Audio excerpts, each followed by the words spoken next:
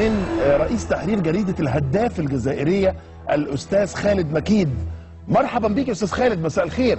السلام عليكم أستاذ معتز. يا أهلا وسهلا بيك نورت التليفون في القاهرة. ما بالك بقى لما تيجي؟ ما بالك بقى لما تيجي؟ Moins d'un kilomètre sépare l'aéroport du Caire de l'hôtel des footballeurs algériens.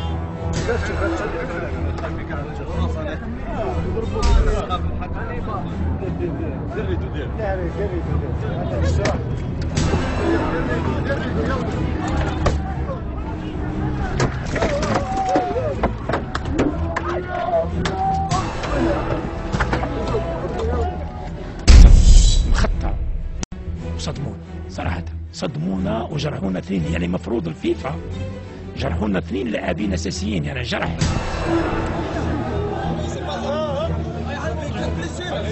Passé, Majid, passé. Comment imaginer que ces hommes ensanglantés qui descendent de leur bus ne sont venus jouer qu'un match de football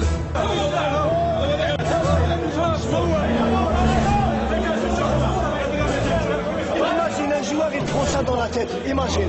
C'est ça le football. C'est ça le football. Heureusement qu'elle était un peu amortée par le réseau. Il y a un morceau de verre qui a pénétré à l'intérieur de la plaie. On attend pour la a que- qu'il y ait une constatation euh, de la FIFA. L'Algérie a besoin d'une équipe nationale de football. L'Algérie a besoin de fierté. La- L'Algérie a besoin de drapeaux qui flottent dans le vent des autres nations. انتصارات نتاع الشباب في الملاعب الرياضية أكثر بكثير من القرارات السياسية التي نتخذها بالنسبة لشعبنا هذا اللي يرد فيه الاعتزاز ورد فيه النخوة هذه النخوة اللي تكسرت في العشرية السوداء. هذا لابد نرجعوه له. لابد نرجعوا له هذه النخوة ارفع راسك يابا ارفع راسك يابا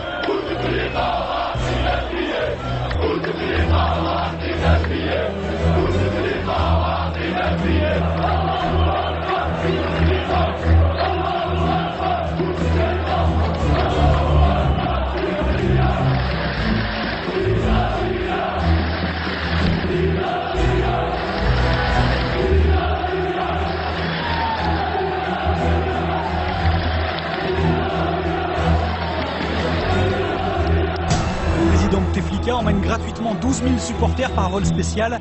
25 avions décollent les uns après les autres, direction Khartoum.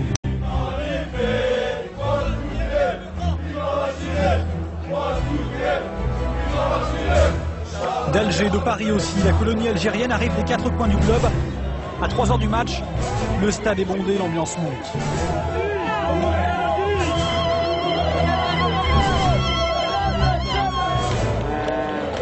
Un stade méticuleusement divisé en deux.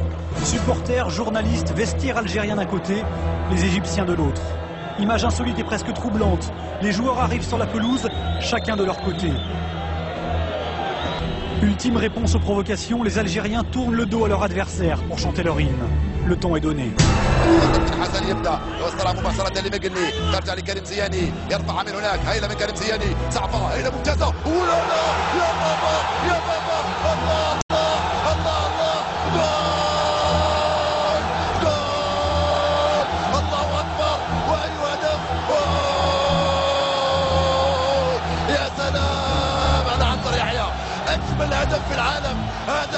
اجمل هدف في العالم واحلاه أوه. جول. جول جول جول جول جول. جول جول جول جول جول. يا سلام. يا سلام على هذا الهدف. هذا هو اللي يعطيكم القوة. هذا هو اللي يعطيكم الإرادة.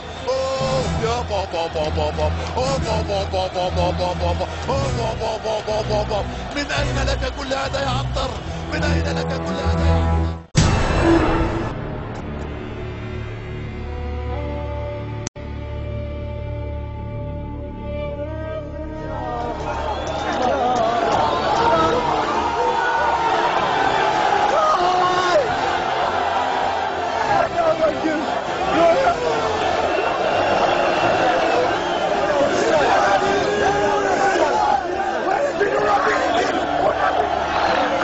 L'injustice enfin réparée, la délivrance et les larmes.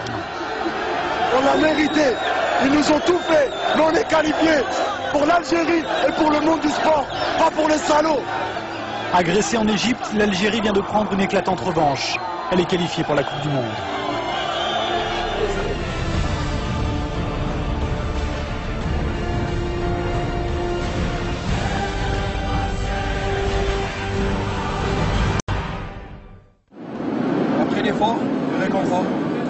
Hier matin dans l'avion, derniers instants de répit avant le retour triomphal en Algérie.